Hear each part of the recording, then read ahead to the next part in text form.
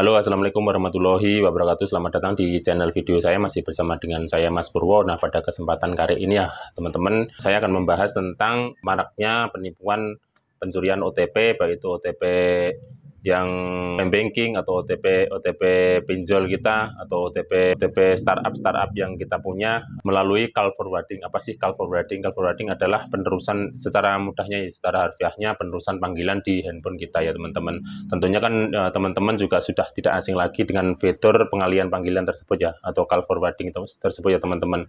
Fitur pengalian panggilan ini kalau biasanya kalau kita kita nggak mau terganggu atau se seperti apa dan nomor kita tidak mau diganggu, kita alihkan ke nomor yang satunya, misalkan untuk privasi dan sebagainya. Nah, eh, fitur ini ternyata digunakan atau disalahgunakan oleh oknum-oknum tertentu yang memanfaatkan kelengahan kita ya teman-teman.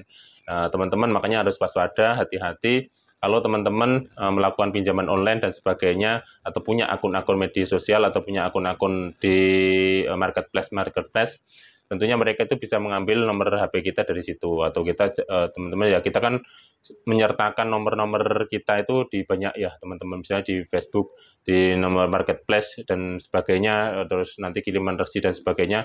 Nomor-nomor HP kita itu berseliweran di situ. Nah itu salah satunya dimanfaatkan oleh oknum-oknum yang tidak bertanggung jawab yang mengirimkan uh, atau SMS atau telepon biasanya. Biasanya mereka itu melalui SMS ya teman-teman.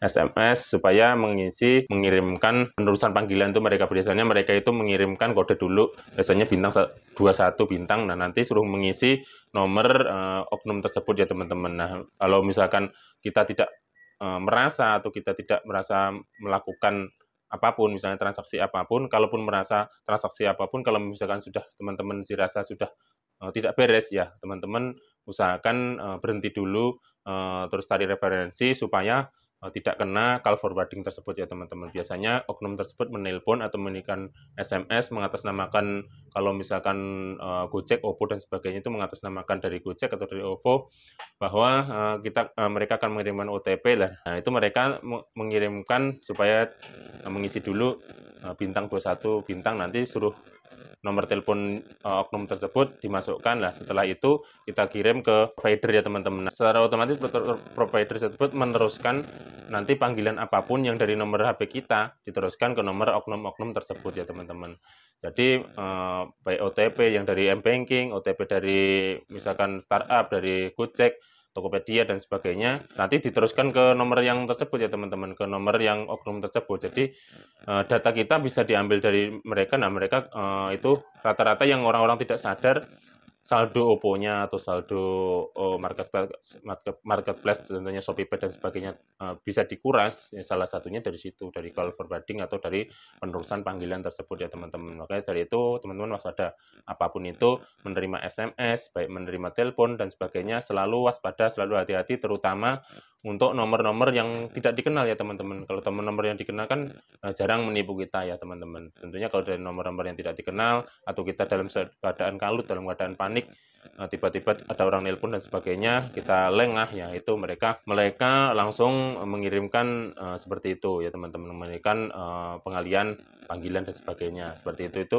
uh, hanya memanfaatkan kelengahan diri kita. Kalau kita misalkan selalu waspada ya insya Allah tidak terkena uh, penipuan ber, yang bermodus penerusan panggilan tersebut ya teman-teman. Hanya itu uh, caranya mereka itu untuk meneruskan panggilan ke mereka. Nah, nanti kan mereka itu mengirimkan kode misalkan untuk nomor Telkomsel Indosat dan Uridu dan Excel dan Tri cara membatalkan semua pengalian panggilan kita misalkan kita juga sudah bisa ya teman-teman kita misalkan sudah terlanjur ternyata baru sadar kalau kalau itu penerusan panggilan kita harus caranya seperti ini ya teman-teman. Yakni melalui kode pagar pagar 21 pagar nomor yang tujuan yang pengalian panggilan tersebut lah kemudian panggil kemudian pilih oke okay atau iya.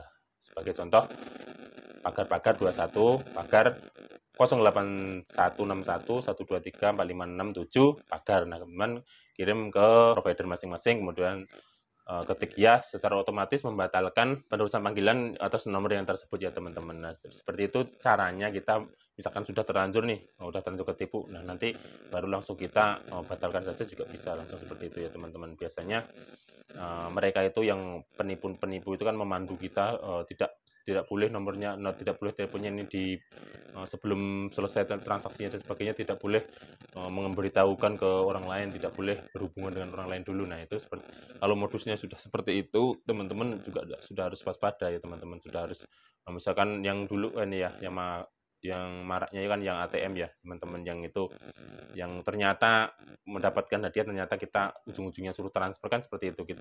mereka memainkan psikologi kita supaya panik supaya nggak konsentrasi dan ujung-ujungnya kita mau dapat uang pun malah ujung-ujungnya transfernya seperti itu itu sudah banyak korbannya dan uh, sebenarnya kalau forwarding atau penerusan panggilan ini Uh, bukan hal baru, cuma lagi marak uh, akhir-akhir ini marak lagi. Karena karena fitur ini kan sudah lama sudah dari awal-awal keluar nomor-nomor baru itu keluar-keluar dari awal-awal tahun 2000 kan kan sudah ada fitur yang ini, cuman dimanfaatkan oleh oknum-oknum baru kali-kali ini ya, baru marak kali ini ya teman-teman. Itulah. Mudah-mudahan teman-teman ini sekedar uh, solusi, sekedar edukasi ya teman-teman, mudah-mudahan tercerahkan, mudah-mudahan ini bisa mengantisipasi apabila suatu saat uh, terjadi pada teman-teman apabila ya uh, mudah-mudahan singkat ya teman-teman. Ini juga bisa mengantisipasi dan waspada kita untuk menjaga waspada kita. Kita saling mengingatkan saja ya teman-teman.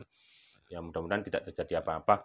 Nah kurang lebihnya saya mohon maaf. Silahkan aktifkan tombol lonceng serta subscribe untuk update video-video terbaru dari saya. Kurang lebihnya saya mohon maaf. Saya akhiri bila topik walidaya. Wassalamualaikum warahmatullahi wabarakatuh